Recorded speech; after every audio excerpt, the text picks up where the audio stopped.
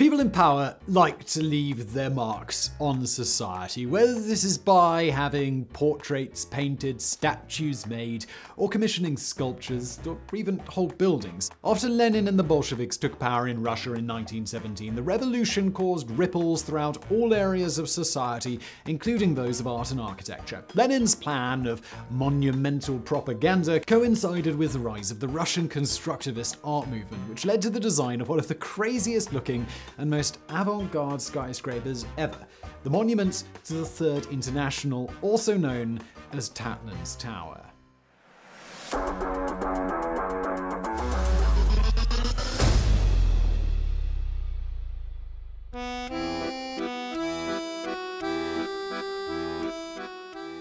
The year's 1919, and in Russia, Vladimir Lenin is setting up the Third Communist International in Moscow. Now, the aim of the International, also known as the Communist International or Comintern, was to overthrow capitalism, no big deal, and implement a system of global communism by any and all means necessary. Spoiler alert, the Third International was dissolved in 1943 when Stalin, who had succeeded Lenin after his death in 1924, thought it prudent to err on the side of diplomacy with his Western allies against the Nazis. Anywho, back in 1919, riding on a wave of revolution, Lenin implemented his plan of monumental propaganda to create sculptures, slogans, and building decorations intended to visually advertise and propagate communist ideals. The most ambitious work to be commissioned from his plan was for that of the Monument to the Third International itself. Artist, carpenter, and architect Vladimir Tatlin got the nod and started designing the tower, which would also act as the Comintern's HQ that same year. Tatlin was a graduate of the Moscow Academy of Fine Arts and in 1913 had made a trip to Paris in which he was exposed to Pablo Picasso's early Cubist works and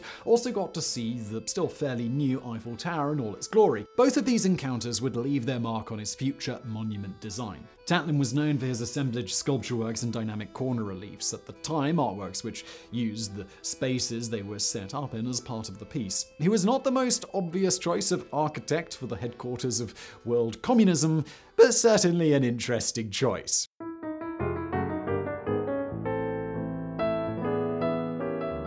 What Tatlin came up with was a building that would symbolize the essence of revolution, both figuratively and literally. It would declare the aspirational future that communism was going to have and was also going to spread communist propaganda to the masses. On top of all of that, it would also be a working headquarters for the Comintern and its various branches. The plans for Tatlin's Tower were for a huge, ambitious, abstract structure never seen anywhere before, least of all in Soviet Russia. Imagine that the Leaning Tower of Pisa and the Eiffel Tower had a baby. Now imagine a large helter-skelter going around that. I'm not a smart man. The monument to the Third International is simultaneously curved and straight, almost an optical illusion of arching metal and severe lines. Now take a look within the frame and you'll see the structures of a glass cube at the bottom, a pyramid above that, a cylinder above that, and a hemisphere at the very top. It all sounds pretty out there, doesn't it? Well, now imagine that these internal sections all also rotate at individual speeds to match various solar journeys. The large cube at the bottom was designed as the Comintern's lecture hall, general offices, etc. This would rotate the slowest at a rate of once per year. The pyramid above would rotate once a month and would be the home for the executive branch of the Comintern. The cylinder level would be the press bureau and would be whizzing round at a rate of once per day.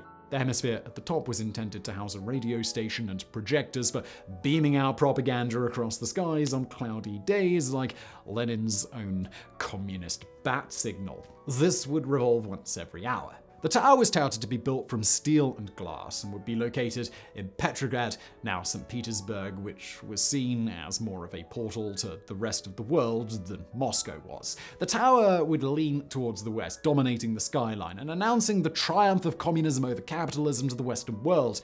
The steel framework of the building was to symbolize strength, hard work, and the use of modern materials. The internal rotating glass structures represented the apparent transparency of the Comintern organization, as well as symbolizing how it was all going to run like a well-oiled machine. It was technologically forward-looking too. Beaming messages across the sky was not a regular occurrence in the early 20th century or even today, and the radio station would have been broadcasting from the world's highest antenna. Now, if you're having trouble working out how all of these internal sections would, you know, fit into the structure, Tatlin designed this tower to be about 1,300 feet, that's 400 meters tall. This would have made it the tallest building in the world at the time. For context, the monument to the Third International would have been almost a third taller than the Eiffel Tower, which stands at 1,063 feet.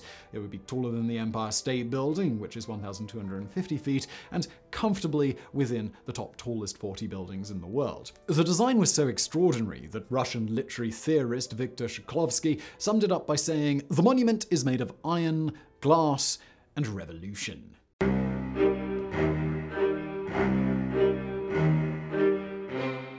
So, what happened to this futuristic skyscraper that was going to be the symbol of global communism?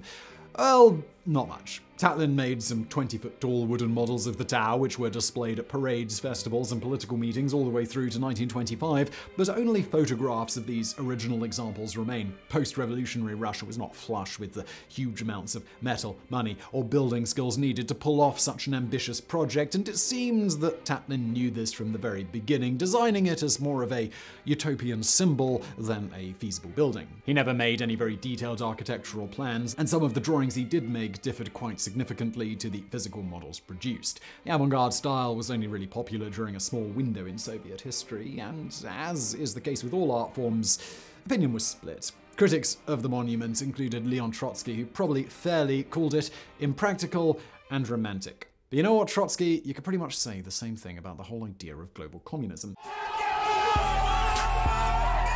The tower did find fans in the future, though. Although Tatlin's wooden prototypes were lost in the 1920s, a reconstruction was made in the late 1960s under the supervision of Pontus Hultén, a museum director in Sweden. He went on to be the first director of the Pompidou Center in Paris, where he commissioned another reproduction to be put on display there. There are a couple of other models that travel around the world, and in 2007, artist Ai Weiwei created Work in Progress Fountain of Light, an illuminated version of the monument that floated in the Royal Albert Dock outside the Tate Liverpool Gallery. The tower was also immortalized on a Russian postage stamp in the year 2000. Although he is labeled as one of the founders of the constructivist art movement, Tatlin didn't really like the label as he disagreed with the ethos of design for propaganda coming at the cost of artistic expression. Looking back, the non-traditional and somewhat radical artist seems like a rather strange choice to have been picked to design Communist HQ.